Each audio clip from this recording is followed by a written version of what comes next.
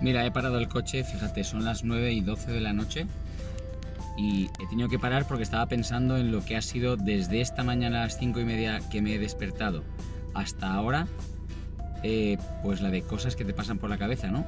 Mientras estás trabajando, el estrés, el pensamiento de, no sé, mil cosas. Esta mañana a las 5 y media he puesto en mi estado algo así como, si te piensas que haciendo lo que hacen todos, tú vas a tener resultados extraordinarios, estás muy equivocado. Y me ha venido a la mente esa frase, por eso he parado aquí delante de Carrefour a grabar esto, porque es así. No hay nadie que tenga resultados extraordinarios que haya hecho algo ordinario. Con algo ordinario eres uno más del montón. Si es lo que quieres, fantástico, es lo que tienes y es lo que vas a conseguir. Pero yo me planteaba, joder, soy feliz haciendo esto, no es cuestión de ser feliz o no ser feliz. Tú puedes estar totalmente agobiado o estar triste que tú lo que tienes que estar es sentirte orgulloso. Y yo me siento orgulloso de mí mismo, de seguir dándole caña a todo lo que hago, de mi entorno y de estar orgulloso de lo que otros hacen a mi alrededor por lo poco o mucho que yo les he influenciado o les estoy contagiando día a día.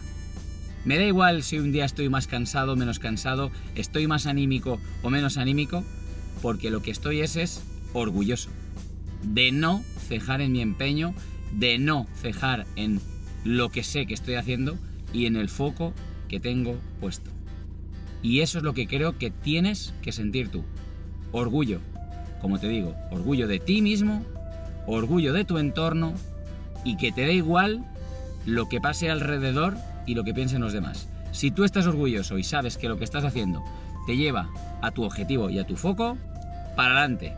Y si tienes eso en claro y tienes eso en mente, no te para nada ni nadie.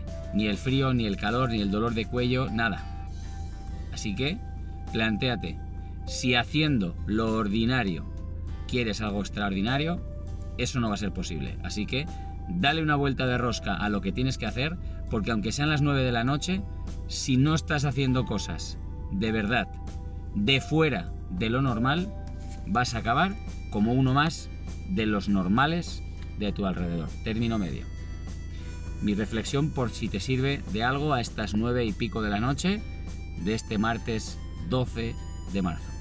Feliz noche. Chao, chao.